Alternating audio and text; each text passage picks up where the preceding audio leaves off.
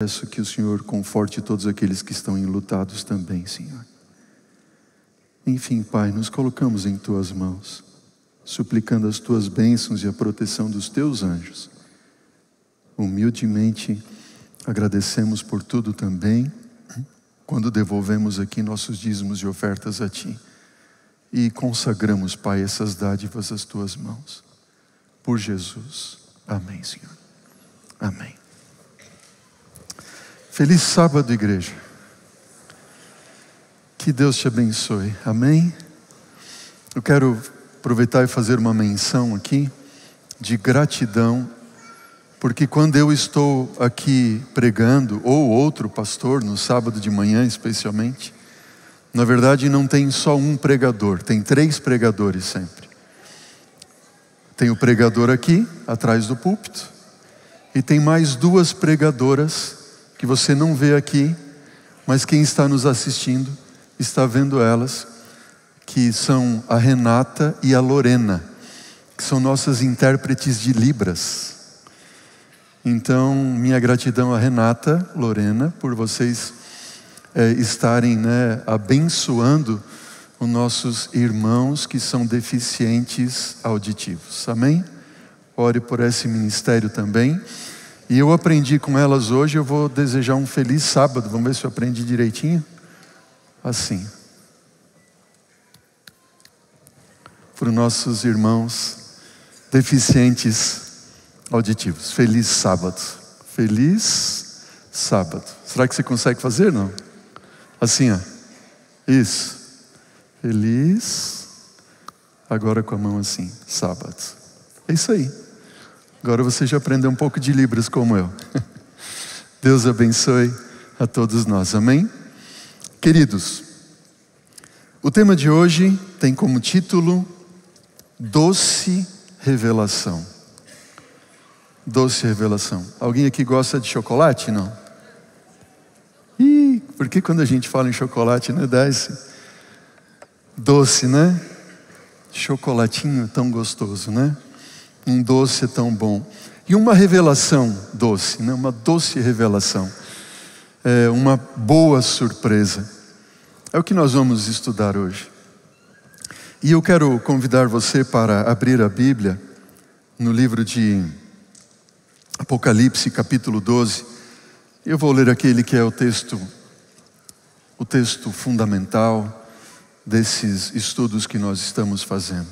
Apocalipse 12 Versículo 12, a palavra do Senhor diz: Por isso festejai os céus, e vós os que neles habitais, ai da terra e do mar, porque o diabo desceu até vós cheio de grande ira, de grande cólera, sabendo que pouco tempo lhe resta. Ó oh, igreja querida, eu não vou cansar de alertar, de falar, e eu falo em nome de Jesus Falta muito pouco. Falta muito pouco. O livro de Hebreus, capítulo 10, versículo 35 a 39, são esses dois textos que nós sempre temos lido nesta série Fim, Fim dos Tempos. Hebreus 10, 35 a 39 diz: Portanto, não percam a confiança de vocês, porque ela tem grande recompensa. Um dia você conheceu a revelação profética de que Jesus em breve virá. Amém? E o apelo é: não percam a confiança de vocês, porque ela tem grande recompensa. Muitos, infelizmente, abandonarão a fé. Muitos abandonarão a fé. Versículo 36 de Hebreus diz: vocês precisam perseverar para que, havendo feito a vontade de Deus, alcancem a promessa, porque ainda dentro de pouco tempo aquele que há de vir, virá, e não irá demorar. Mas o meu justo viverá pela fé, e se porventura alguém retroceder, diz dele: a minha alma não se alegrará. Oro para que nenhum dos que aqui estamos, não é, pastor Davi Moros, venha retroceder. mas que todos alcancemos a recompensa da fé e pela fé em Cristo Jesus. O movimento adventista que teve início na década de 1840, nós temos visto pela história, isso aqui não é algo que eu acho ou que eu penso, e eu quero que vocês, em nome de Jesus, vejam dessa forma, e eu me dirijo carinhosamente a todos os nossos irmãos, membros de outras denominações cristãs que não a Igreja Adventista do Sétimo Dia. Tenho aqui meu amigo, mencionei hoje de manhã, né? O Emerson, que é o nosso irmão da Igreja Presbiteriana, e temos membros e e amigos, irmãos de outras denominações cristãs. E louvado seja Deus por isso. E o que importa a nós não é sabermos a opinião do que diz um pastor ou uma igreja, mas o assim diz o Senhor através da profecia e da história. Amém por isso? Nós temos visto nas profecias e na história que, de fato, quando iniciou-se o tempo do fim, a partir de 1798, um grande número de pessoas, de homens e mulheres ao redor do mundo, se despertaram para o estudo das profecias. Nos Estados Unidos, na Inglaterra, na Escócia, Ásia, Alemanha, Espanha, nos Países Baixos, às margens do Báltico, no Mar Cáspio, Iêmen, na Tartária, mais de 12 diferentes partes da terra de forma quase simultânea. Isso não é uma opinião minha, é o que a história nos traz. De forma praticamente simultânea, em 12 partes do mundo. E isso eu me refiro a partir de 1798, ou ao redor de 1798, início de 1800 e nas décadas eh, seguintes. Imaginem, Aqui não tinha internet, não tinha WhatsApp, não tinha YouTube, nada disso. Doze partes diferentes do mundo, nem telefone, absolutamente nada disso. Então, de forma simultânea, quando nós olhamos um movimento como este, de forma simultânea, em 12 partes do mundo, em vários países do mundo, eh, onde nenhum se comunicou com o outro para dizer o que estava ali descobrindo nas profecias bíblicas, eu não tenho dúvida a não ser dizer que foi direção do Espírito Santo do Senhor. Amém? Não tem como.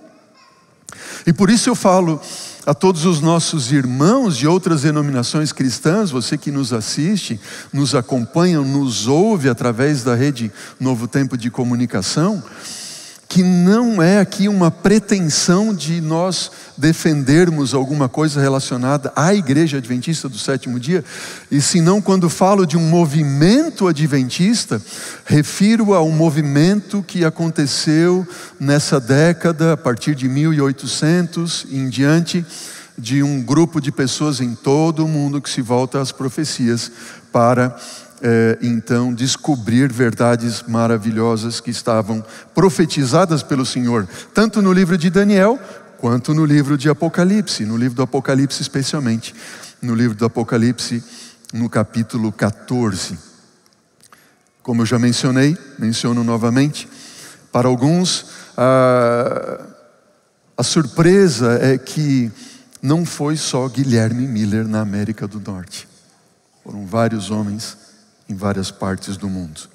Daubigné, um grande escritor e historiador francês do século XVI, refere-se à reforma protestante que teve início no século XVI, é, mencionando também as mesmas características.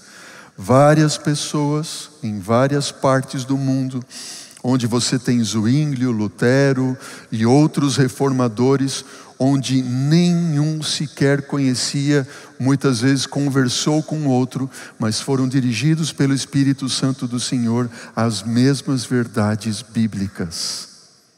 Em outras palavras, nós chegamos à conclusão que, sem dúvida alguma, ok? Sem dúvida, o movimento do Adventismo do século XIX é uma renovação e uma continuação do movimento da reforma protestante do século XVI. Você pode dizer amém? Esse movimento que se iniciou no tempo do fim, a partir de 1798, é sem dúvida uma renovação e uma continuação do movimento da reforma protestante que teve início no século XVI. Taylor Bunch, ele escreve o seguinte: o Senhor poderia ter terminado o seu trabalho durante a grande reforma. Tivesse o seu povo descoberto, acho que essa imagem não está aparecendo para aqueles que estão recebendo a transmissão, creio que seria importante, obrigado aos nossos amigos aí do staff. Do, é, esse texto é importante ver.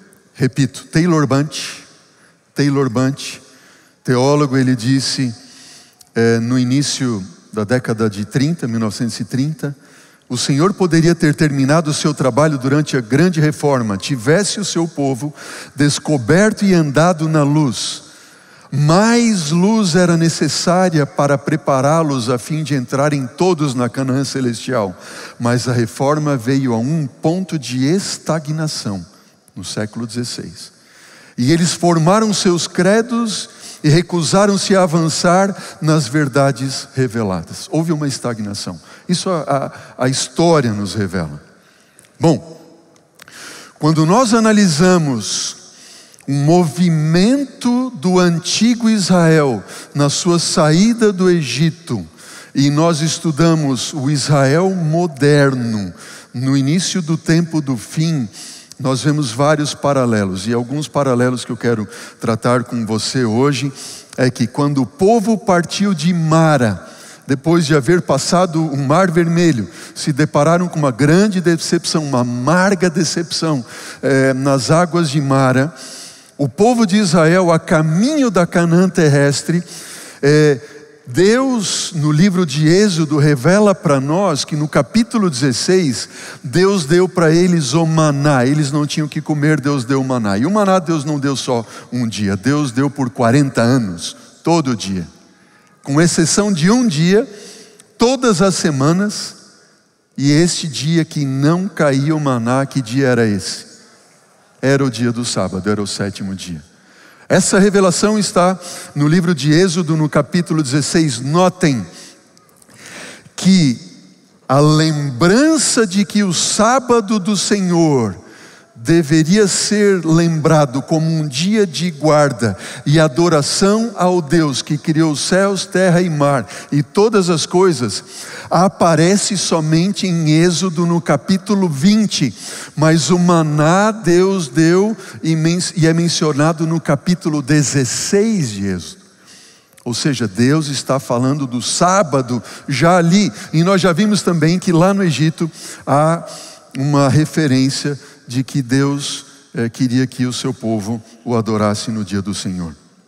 Enfim, quando eles chegam é, ao Monte Sinai nessa caminhada, agora eles têm um grande encontro com Deus. Êxodo capítulo 19, uma grande manifestação, o monte treme, fumaça, relâmpagos, Deus se manifesta de uma forma tão extraordinária como em nenhuma outra parte das Escrituras nós encontramos. E Deus então proclama sua lei do Monte Sinai, e isso nós encontramos em Êxodo capítulo 19, capítulo 20. E Deus disse: Não terás outros deuses diante de mim. E ele disse isso como consequência de uma afirmação feita anteriormente pelo próprio Deus, quando ele diz: Eu sou o Senhor teu Deus que tirou da terra do Egito, da terra da servidão. Uma consequência por amar a esse Deus seria não ter outros deuses, não fazer imagem de escultura, não tomar o nome desse Deus em vão, Deus este que nos libertou da escravidão. Na verdade, lembrar-se do dia de adorar esse Deus que é o Criador dos céus e da terra, e por aí seguem os dez mandamentos, como encontramos em Êxodo no capítulo 20. No entanto, quando nós chegamos em Êxodo capítulo 25, e seguimos do Êxodo 25 até o Êxodo capítulo 30, Moisés sobe ao Monte Sinai e Deus tem um encontro íntimo com Moisés, e esse encontro ele é, perfaz 40 dias desde que Moisés sobe ao monte, fica no monte, e Deus ali revela duas coisas para Moisés. Duas coisas. Número um, primeiro ponto, Deus ordena a Moisés que ele prepare materiais para construir um santuário segundo o modelo que Deus iria mostrar. Então Deus revelou primeiro e ordenou, revelou como deveria ser o santuário e ordenou como ele deveria ser feito. Você encontra isso, nós encontramos isso em Êxodo capítulo 25, versículo 8 e 9. Você pode abrir a sua Bíblia ou acompanhar o texto na tela. Êxodo 25, versículo 8 e 9 diz: O Senhor a Moisés: E me farão um santuário, para que eu possa habitar no meio deles, segundo tudo o que eu te mostrar para modelo do tabernáculo e para modelo de todos os seus móveis, assim o fareis Pausa, olha para mim. Quando Deus diz, faça o santuário segundo o modelo, que modelo era esse? Que modelo seria esse, se não o próprio santuário celestial? Veja, neste modelo de santuário que Deus revela a Moisés, lá no Monte Sinai, de como eles deveriam construir, diz a palavra do Senhor, e este é algo muito interessante, que o primeiro utensílio o primeiro utensílio que Deus revela para Moisés, conforme o modelo do santuário celestial, não é o altar é, de incenso, não é a mesa com os pães da proposição, não é o candelabro, aqueles que conhecem um pouco do modelo do santuário, não é o altar de holocaustos, não é a pia de purificação, mas o primeiro utensílio que Deus revela qual é? A arca da aliança. E nós encontramos isso em Êxodo capítulo 25, se você está com a Bíblia aberta, você vai ver que depois dessa revelação de Deus, de que eles deveriam construir, Moisés deveria construir o santuário conforme o modelo, no versículo 10 eh, em diante, ele da primeira revelação do primeiro móvel, e o primeiro móvel é a arca da aliança. E notem o que diz a Bíblia, versículo 10 do capítulo 25 de Êxodo, 10, 11, e eu lerei depois versículo 16. Diz assim: Também me farão uma arca de madeira de acácia de dois côvados e meio de comprimento, e um côvado e meio de largura, e um côvado e meio de altura. Essa era a medida da arca. De ouro puro a cobrirás, por dentro e por fora, a cobrirás e farás sobre ela uma bordadura de ouro ao redor. Versículo 16.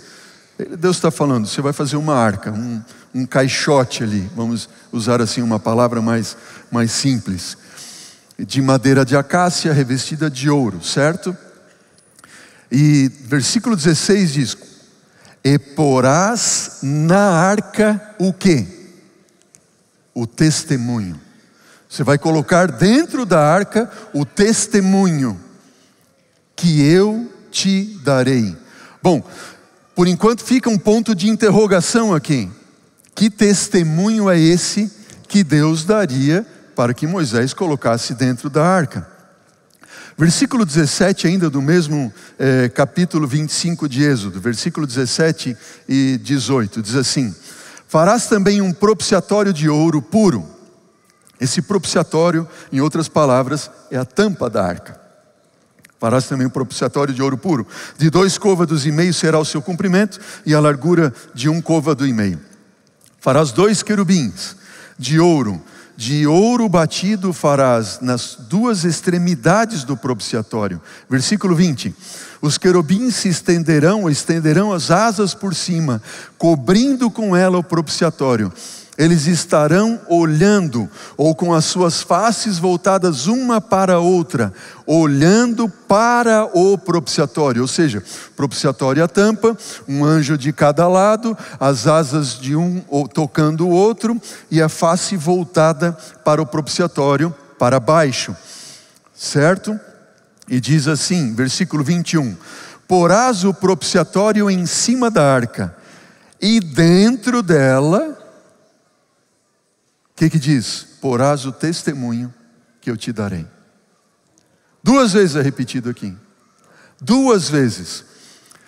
Não bastava Deus falar uma vez, não, Deus fala duas vezes e Ele está dando uma ênfase. Primeiro utensílio do santuário, a arca. Detalhes, madeira, acácia, tampa, propiciatório, os anjos olhando para baixo. E dentro dela você vai colocar o testemunho. Dentro dela você vai pôr o testemunho que eu te darei. Vamos agora a Êxodo capítulo 31. No final desse encontro de Moisés com o Senhor no monte, em Êxodo capítulo 31, versículo 12 e 13, nós encontramos o seguinte: Disse o Senhor a Moisés, Êxodo 31, versículo 12 e 13: Tu, pois, falarás aos filhos de Israel e lhes dirás: Certamente guardareis os meus sábados, pois é sinal entre mim e vós nas vossas gerações, para que saibais que eu sou o Senhor que o santifica. Versículo 16 agora, do mesmo capítulo. Diz assim: Pelo que os filhos de Israel guardarão o sábado, celebrando-o por aliança perpétua nas suas gerações.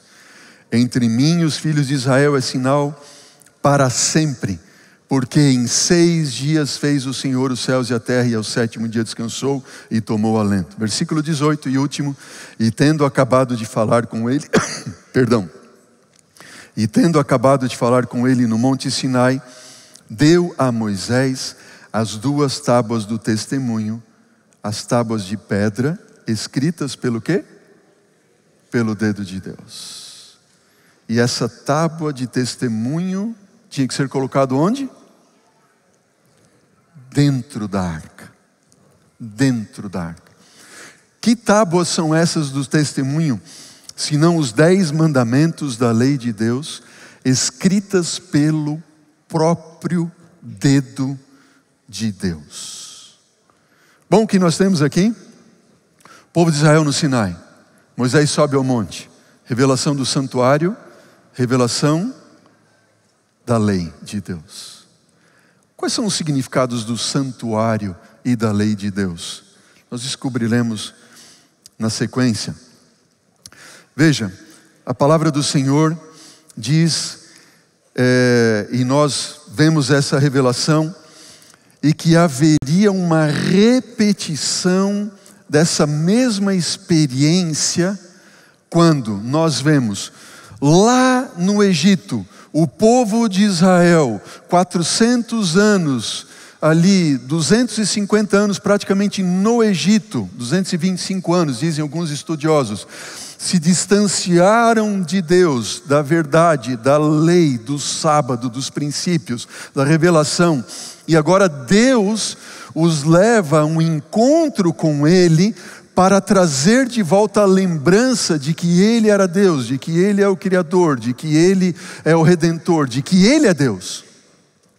E quando nós vemos a repetição na história, nós vemos que na Idade Média também o povo se distanciou de Deus no período de 538 a 1798, como diz o livro de Daniel e se esqueceu do sábado, se esqueceu da lei, não teve mais nenhuma revelação especial acerca do santuário, e quase que isso tudo se tornou nulo durante esse tempo da história. Mas, através das profecias de Daniel e do livro do Apocalipse, Deus revelara que no início do tempo do fim, ou seja, a partir de 1798, essas verdades viriam novamente à tona e seriam restauradas. Estamos juntos até aqui? Então há esse paralelo.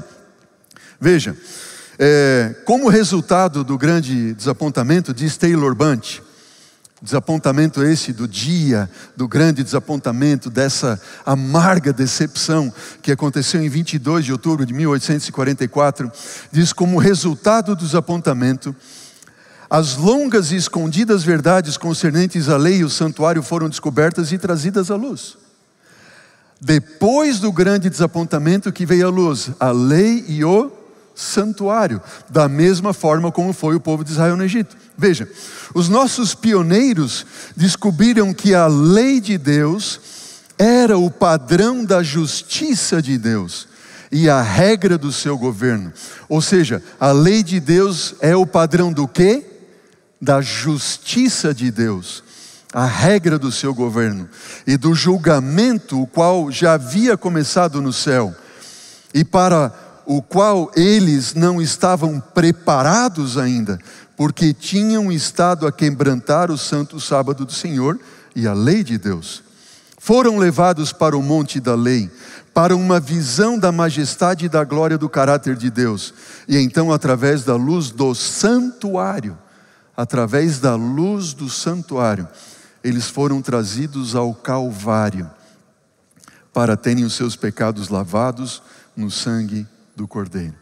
Notem, queridos, em suma, vou resumir aqui para vocês essa, essa, esse pensamento e essa ideia de Taylor Bunch. Quando o povo de Israel, o antigo Israel, sai do Egito depois de haver passado anos e anos longe de Deus e se esquecendo dos princípios e das revelações de quem era Deus, Deus os dirige para o Sinai e no Sinai, Deus revela a eles o santuário e a lei. Qual é o significado do santuário e da lei? Quando Deus revela para Moisés no monte, o santuário revela a sua graça, a sua misericórdia. Estamos juntos?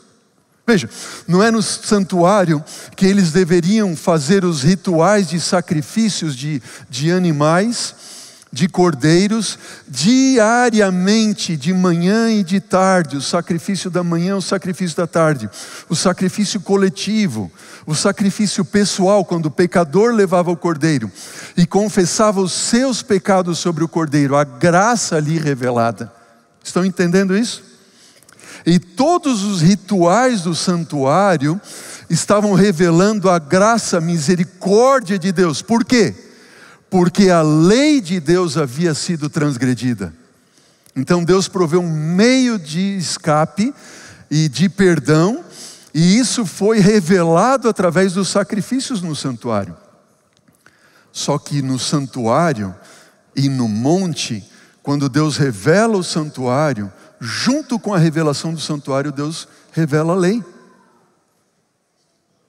E quando nós chegamos no início do tempo do fim, Deus agora vem através desse movimento do tempo do fim, ele começa agora a restaurar e a revelar novamente as verdades do santuário e também da lei, ou seja, da graça e da justiça.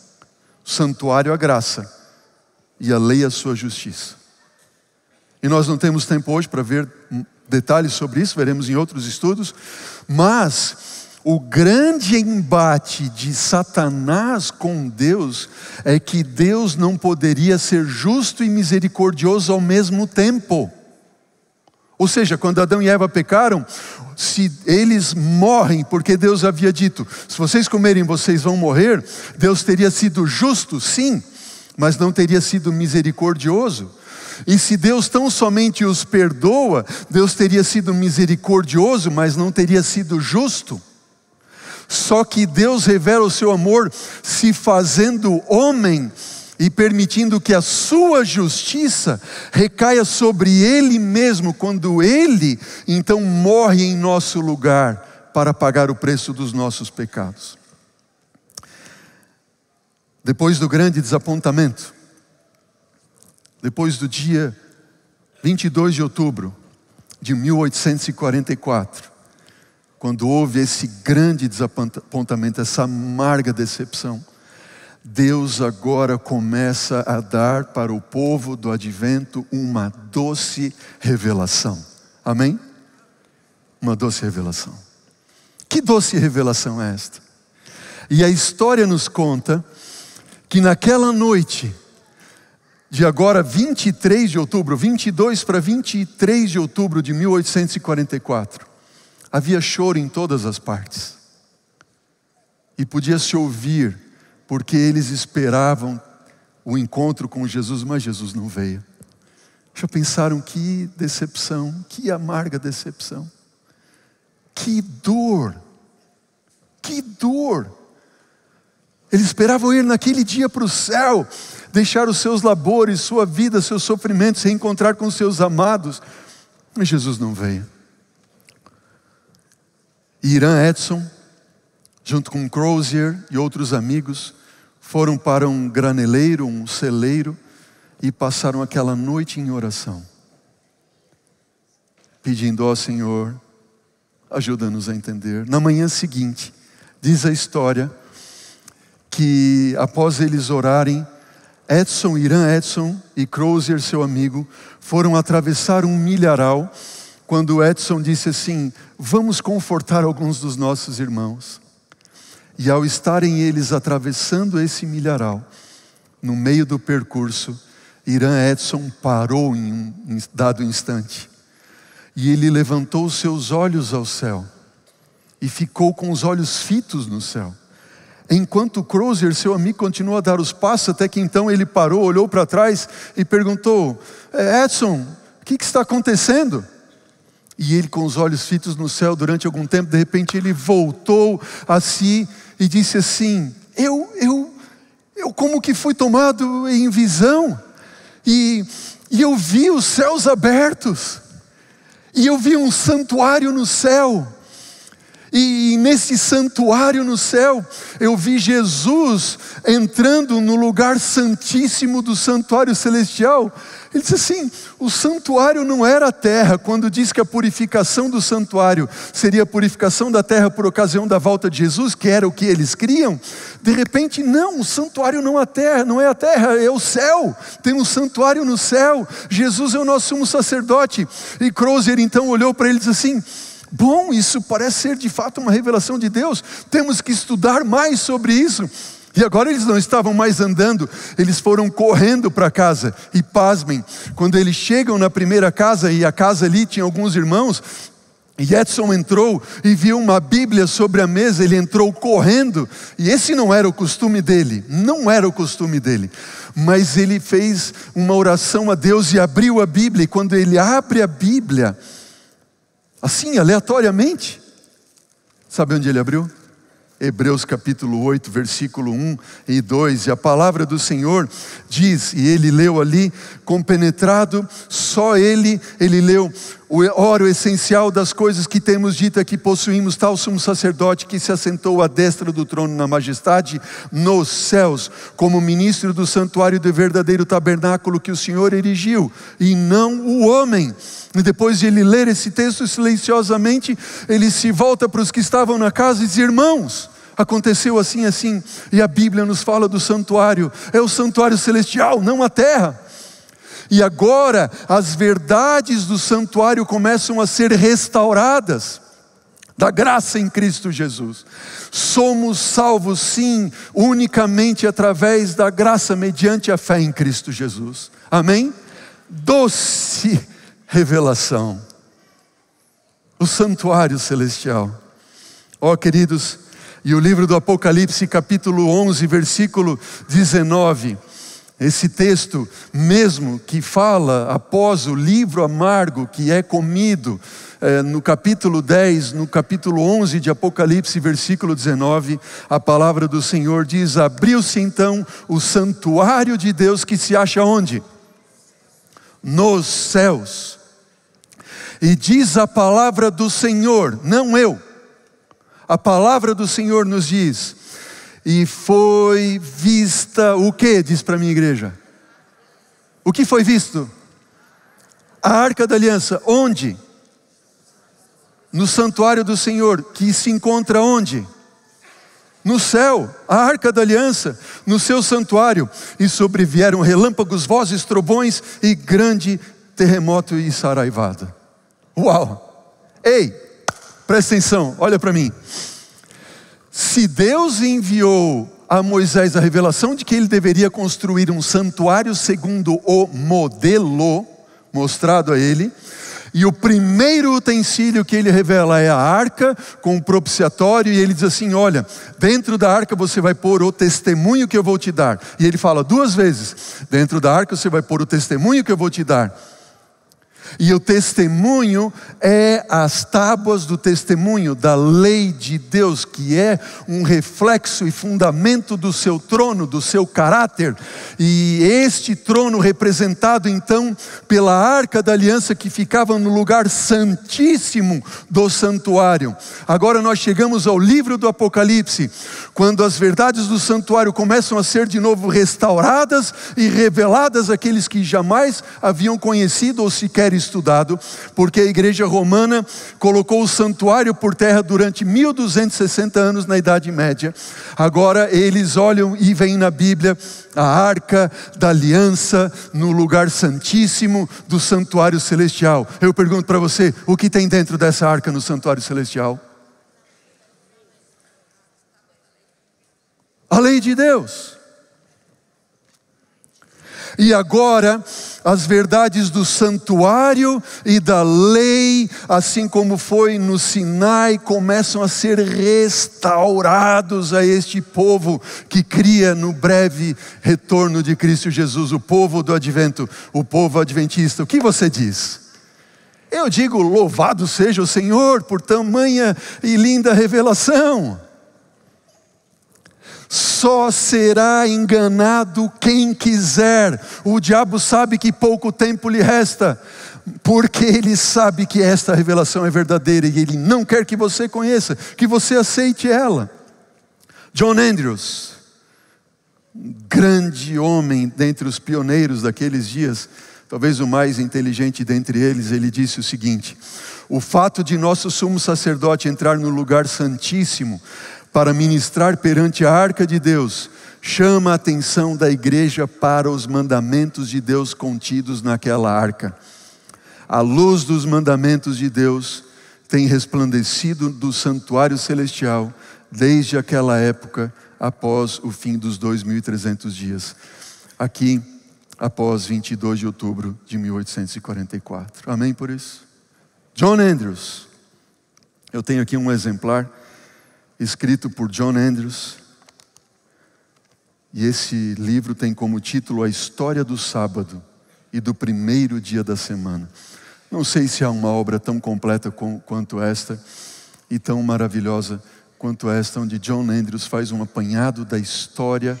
E eu recomendo você, é, vamos deixar aí no link da descrição onde você pode encontrar esse material e, e ver a história. Não é um livro qualquer, é um livro de algumas poucas páginas somente, como você pode ver aqui, e com muito conteúdo, e só ao ler isso aqui você vê o livro de quase 400 páginas, você vê a, a história de quando e por que existiu a mudança do sábado para o domingo e a sua restauração. Amém? Fica como sugestão. Como que o sábado começou a ser restaurado? Porque a lei e o santuário foram vistos. E o sábado, há uma jovem, uma jovem chamada Raquel Preston, durante o clamor da meia-noite de 1844. O clamor da meia-noite seria mais ou menos o período entre junho, julho a outubro de 1844. Ela se mudou para uma cidade chamada New Hampshire, em Washington, onde havia ali uma congregação de adventistas, aqueles que aguardavam a volta de Jesus. E ela, como batista do sétimo dia, levou para eles a verdade do sábado, nessa data. E lá, uma comunidade de 40 pessoas aceitaram o sábado do Senhor. T.M. Preble, ele escreveu o primeiro artigo sobre o sábado, em 13 de, que foi publicado, ele escreveu ali, é datado de 13 de fevereiro de 1845, ou seja, quatro meses ali depois do desapontamento aproximadamente e foi publicado no Hope of Israel, em Portland, Maine, em 28 de fevereiro de 1845. E Preble ele escreve o seguinte: Assim vemos o cumprimento de Daniel 7:25, o chifre pequeno, mudando os tempos e as leis. Por consequente, parece-me que todos os que guardam o primeiro dia como dia de repouso são observadores do domingo do Papa e violadores do sábado de Deus. Quem escreveu foi Preble, 1845. José Bates. José Bates foi um, talvez um principal líder da formação da igreja adventista do sétimo dia, que surgiu desse movimento adventista. Ele foi um capitão é, de embarcações e, e viajou é, ao redor de todo o mundo com as suas embarcações, um homem extraordinário, de uma inteligência singular.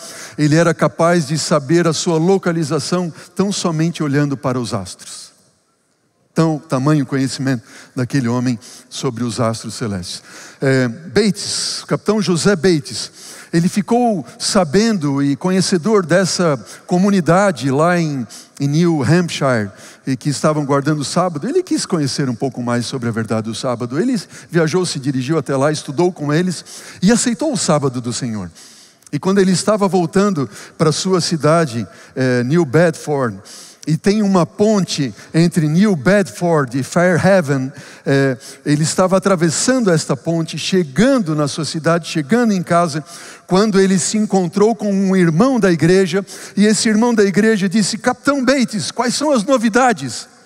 E o capitão Bates, todo entusiasmado, disse: A grande novidade é que o sábado do sétimo dia é o dia do Senhor nosso Deus. E esse irmão disse assim: Bom, eu vou para casa, vou estudar a respeito e procurar descobrir se é assim mesmo. E esse irmão foi para casa, estudou e se tornou também um guardador do sábado. E Bates ficou tão impressionado que ele pensou assim: eu tenho que escrever um livro sobre o sábado, ou um folheto, alguma coisa, mas ele não tinha dinheiro nenhum. Para vocês terem ideia, certo dia, quando naquele, naqueles dias, ao redor daqueles dias, Bates ele, ele estava em casa orando e se sentou à sua escrivaninha e agora impressionado pelo Espírito Santo do Senhor para escrever sobre o sábado e tudo o que ele estava aprendendo e conhecendo. Foi quando a sua esposa entrou no escritório e disse assim: José, é, eu preciso de dois quilos de farinha para é, terminar uma fornada. Ela disse para ele assim. E ele disse: Tá bem, é, você precisa de dois quilos de farinha, é, eu preciso mais disso, disso, aquilo, outro, é, tudo bem. Ela saiu do escritório, é, não deu ali poucos minutos, ele foi até o lugar lá para comprar, comprou dois quilos de farinha, colocou em cima da mesa, voltou para o seu escritório, voltou a escrever. E aí ela entrou de novo no escritório e disse assim: José, o que, que é aquilo em cima da mesa? Ele disse assim: eu, Você pediu, você não pediu dois quilos de farinha? Ele disse: Eu pedi dois quilos de farinha. Mas, então, mas você saiu de casa para comprar dois quilos de farinha? Ele disse: É, não é isso que você pediu? Se é, mas Capitão Bates, você que saiu de New Bedford e viajou todos os sete mares desse mundo, você saiu de casa para comprar dois quilos de farinha. O que acontece é que ela não sabia, até aquele dia, de que ele, quando havia vendido a sua embarcação por 11 mil dólares, sabe o que ele fez com os 11 mil dólares? Ele empregou tudo na pregação da mensagem de que Jesus iria voltar. E sobrou para ele no bolso 12 centavos, que ele pôde comprar um pouquinho, dois quilos de farinha, aquelas outras coisas que ela havia pedido. Ela não sabia disso. Foi naquele dia que ele revelou para ela. Sabe o que acontece, minha esposa? Acontece que eu tinha últimos 12 centavos e a gente não tem mais nada.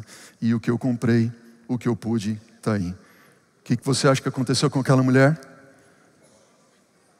Hein? Como assim? Ficou desesperada. Capitão Bates, nós vamos viver do que agora? E aí ele prontamente se levantou como, capitão de uma grande embarcação, ele disse assim: Eu vou escrever um livro sobre o sábado e a lei de Deus, e vou publicá-lo e espalhar por todo o mundo. E nós vamos viver do que? Ela falou. Você não tem dinheiro para comprar nada, vai publicar um livro. Aí ele falou assim: O Senhor proverá.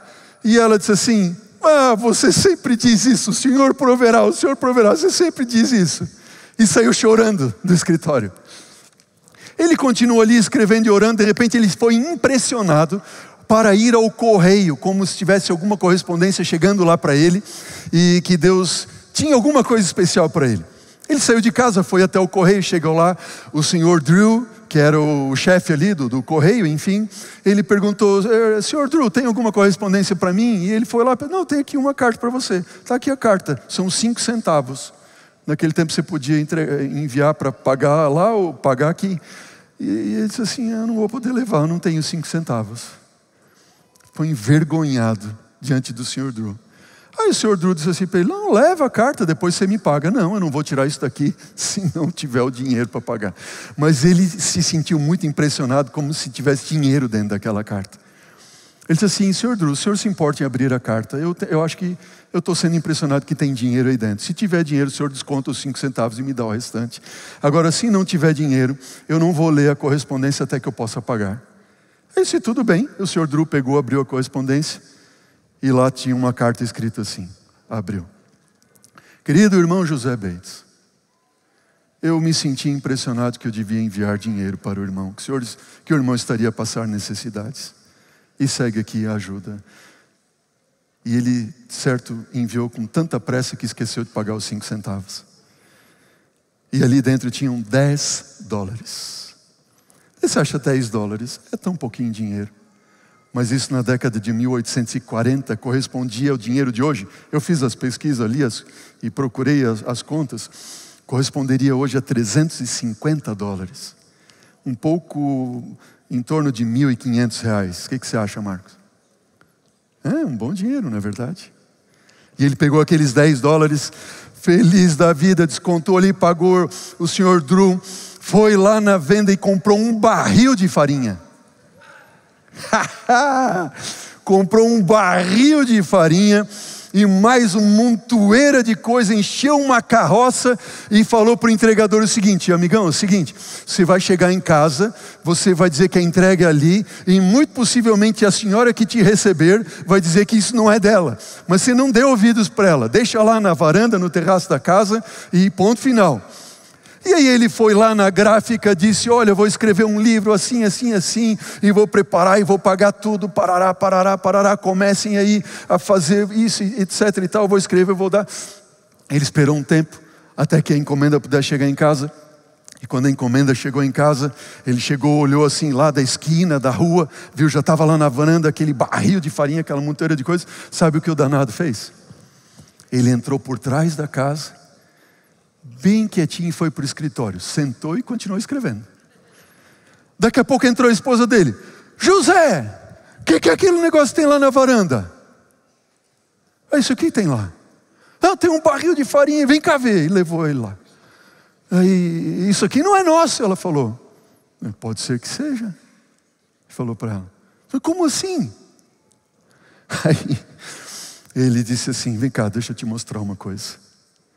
Aí ele levou ela lá no escritório de novo e deu para ela a carta. E aí ela leu a carta. E agora ela começou a chorar, envergonhada por sua falta de fé. Deus proveu. Bates começou a escrever aquele livro do sábado.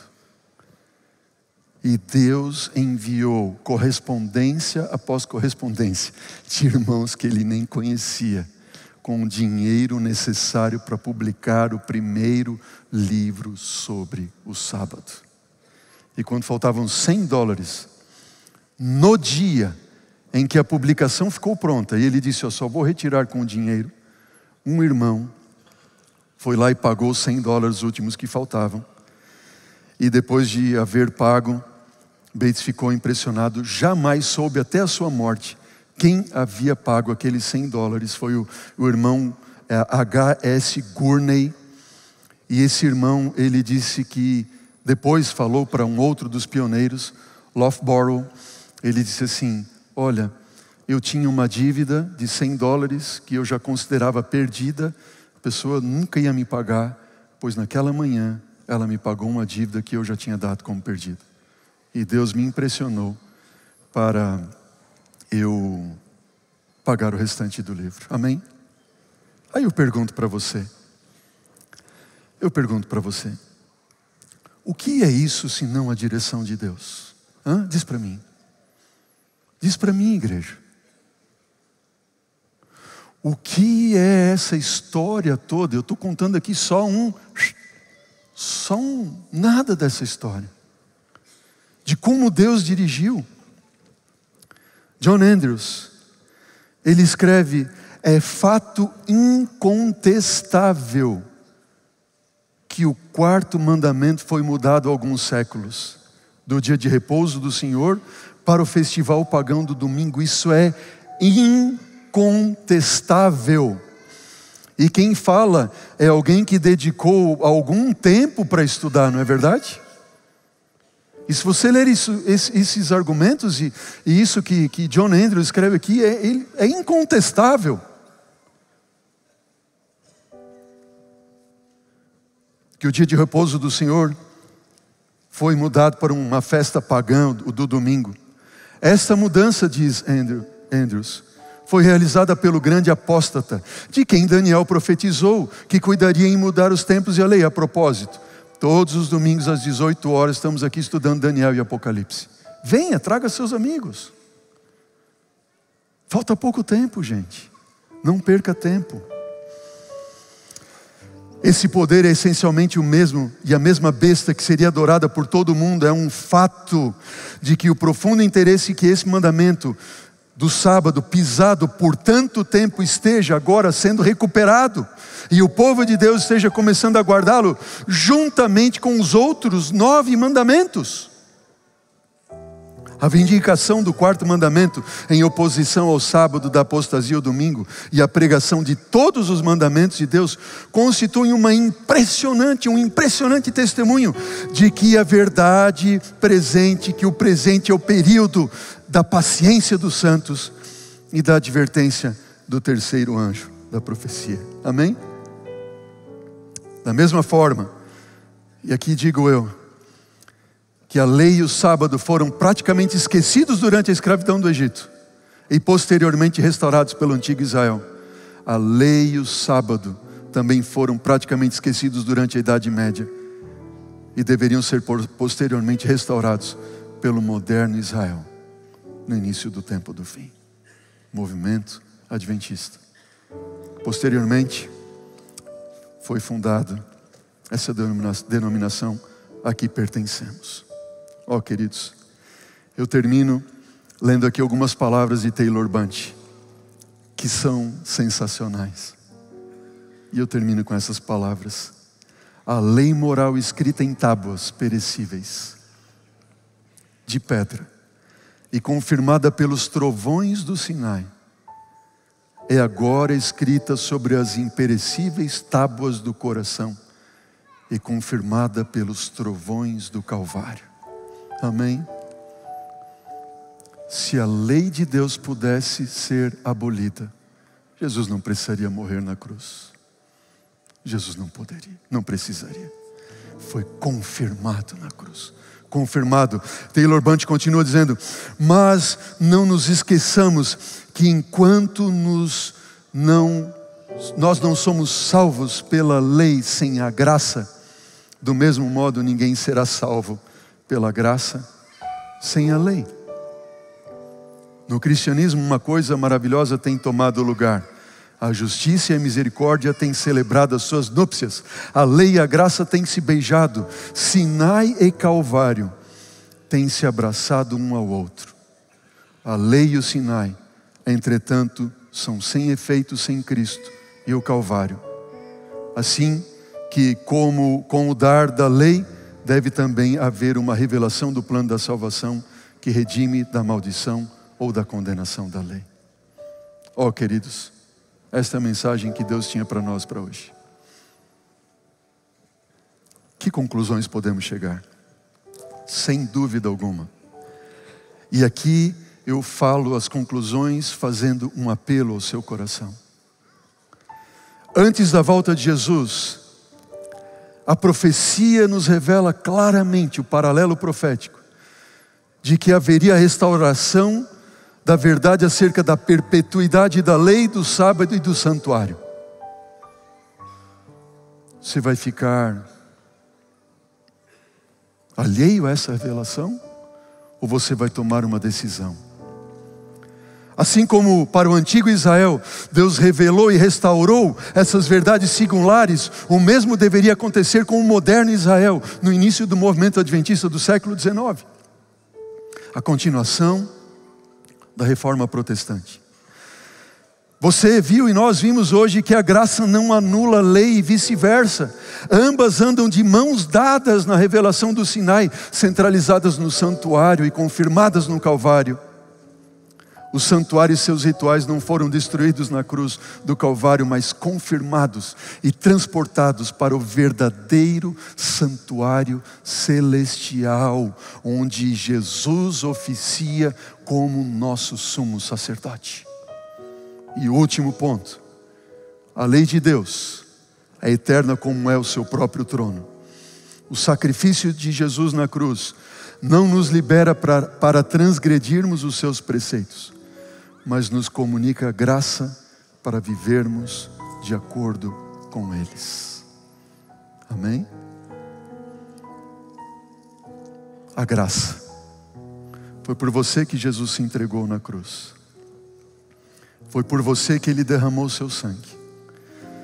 Foi por você que Ele te deu e te dá a cada dia uma nova chance.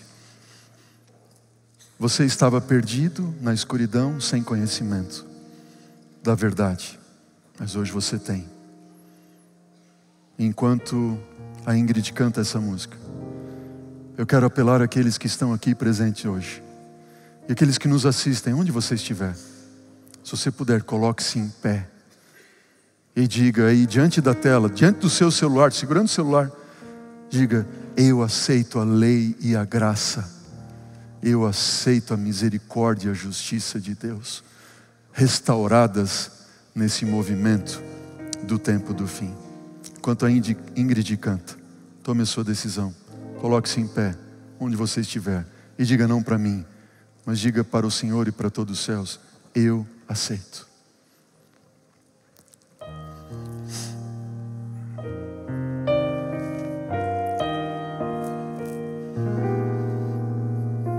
Sei que foi por mim que se entregou.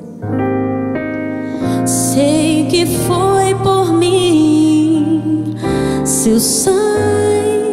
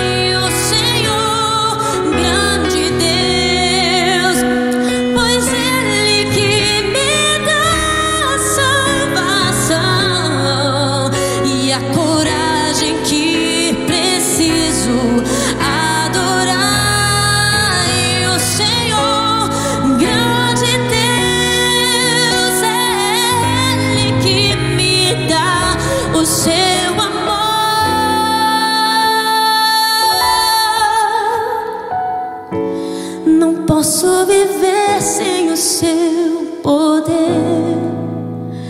que está sempre a me amparar. Não posso viver sem o seu poder que está sempre a me amparar.